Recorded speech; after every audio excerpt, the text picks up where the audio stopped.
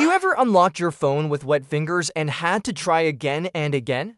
That might soon be a thing of the past because the upcoming Pixel 10 is fixing this annoying problem with something much smarter. According to new leaks, Google is finally upgrading the fingerprint sensor on the Pixel 10, and that's just the start. This year's model is shaping up to be more than just another yearly refresh. It's about making small things faster, smoother, and just easier to use every day. So, what's new first up? Let's talk about fingerprint tech. Google switched to ultrasonic fingerprint sensors with the last Pixel, but the Pixel 10 takes it even further. The new sensor is faster and more reliable, even if your fingers are wet, oily, or dirty. No more wiping your hands just to unlock your phone. And the best part is that Google's not forcing people to pick between Face Unlock or Fingerprint Unlock. Instead, both options stay so you can unlock your phone however you like, depending on where you are or what your hands are doing. And yes, the Face Unlock on Pixel already meets Class 3 biometric security, which means it's safe enough for digital payments and banking apps too. Now, let's talk about charging. The Pixel 10 will support the new Qi wireless charging standard.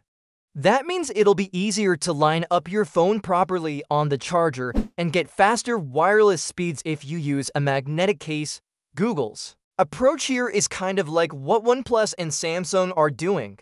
They've added to support too, but you need the right accessories to enjoy the full benefits. In comparison, Apple's new iPhone 160 does support MagSafe magnets, but doesn't give you the faster Qi2 charging.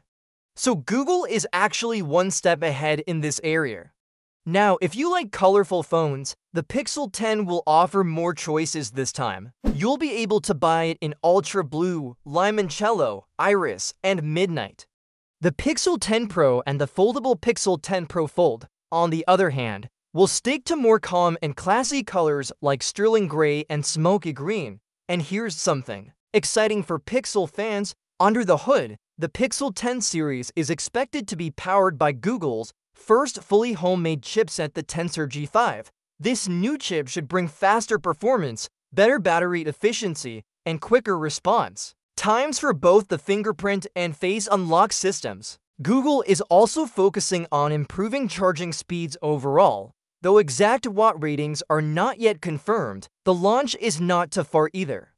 According to reports, Google is planning to announce the Pixel 10 series on August 20th. Pre-orders are expected to start that same day, and the phones should hit the stores on August 28th, so in just a few weeks. Can you imagine using a phone with 20 gigabytes of RAM? That could soon be a reality, as Huawei is reportedly getting ready to launch its first smartphone with that much memory later this year.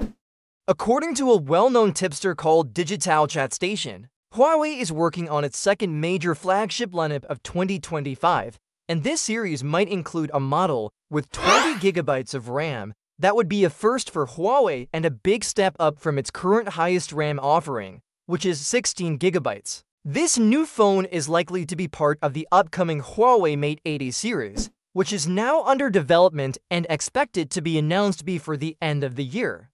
Now, let's break down what that much RAM really means for a smartphone. RAM, or Random Access Memory, acts like short-term memory for your phone. It stores temporary data that helps your apps run smoothly and lets you switch between tasks quickly without lag.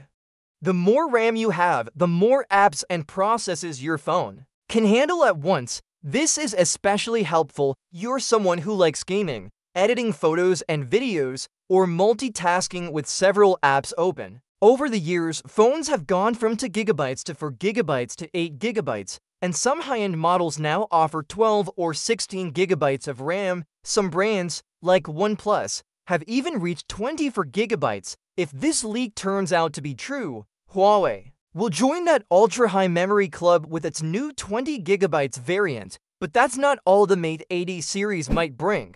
The same tipster also mentioned that Huawei is testing a new chip packaging technology for this upcoming flagship. While the exact details of the chip haven't been shared, it's likely to include some kind of upgrade to 5G performance. This could mean better signal strength, faster internet speeds, and more efficient power usage, which is important for heavy users. Huawei has been pushing forward in chip development despite facing challenges in recent years, and this new phone could show how far they've come.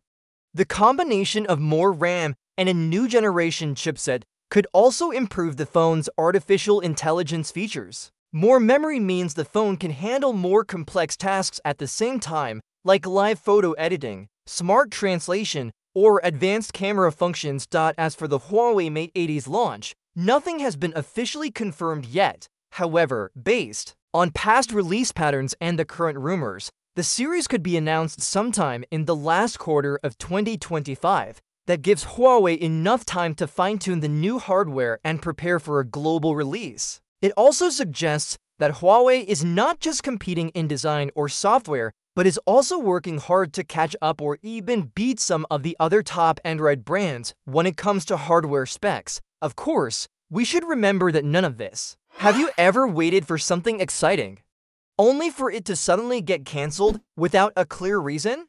Well, that's exactly what just happened with Google's Special Pixel 10 event. Google had a secret event planned for its most loyal, fans called Pixel Superfans, this wasn't your usual tech event.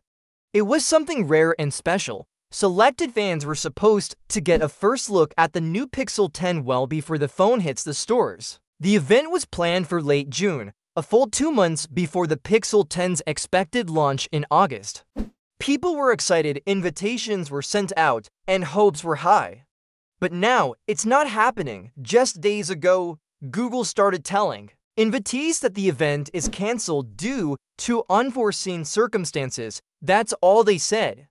No clear explanation, no warning signs, just a sudden change of plans. Now, instead of the early sneak peek, Google is offering a new event called the Pixel Superfans Insider Event, now scheduled for September 4th.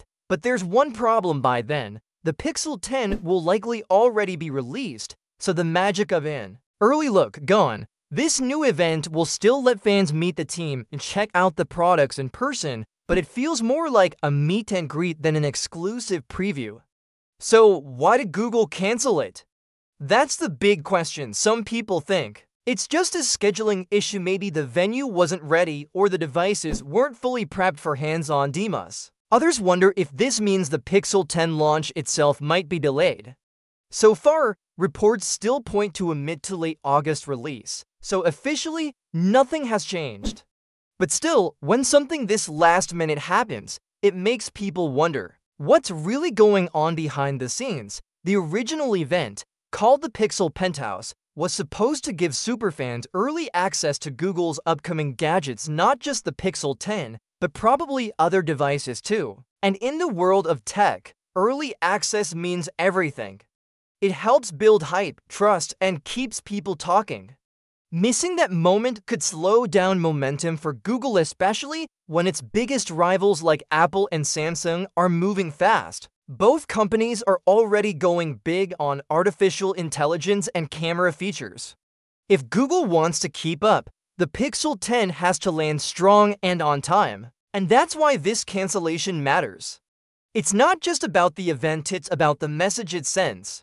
For now, the only thing we know for sure is that fans will have to wait until September 4th, which is after the phone is expected to go public. That takes away some of the surprise and honestly, some of the excitement too. The Pixel 10 is still one of the most talked about Android phones this year.